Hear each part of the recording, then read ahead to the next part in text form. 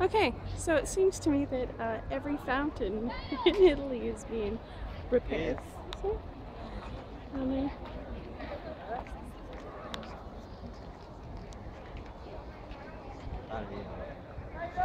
Yay!